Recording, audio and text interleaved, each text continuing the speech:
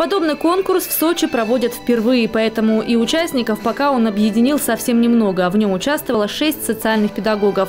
Конкурс проводится в целях повышения профессионального уровня и наиболее полной реализации творческого потенциала социальных педагогов Сочи. Специалисты, которые принимают участие в конкурсе, у нас разного возраста, с разным э, опытом работы, но, тем не менее, каждый представил себя очень интересно, себя, и свое образовательное учреждение. Сегодня состоялся финал конкурса. В отборочных турах специалисты по работе с детьми показали визитку, рассказали о своей роли в образовательном учреждении, провели открытое занятие профилактического характера, учитывались и представленные портфолио. В итоге члены жюри победителем конкурса выбрали Эльвиру Туркину из 29-й школы. Следующий конкурс «Социальный педагог» состоится уже в будущем году.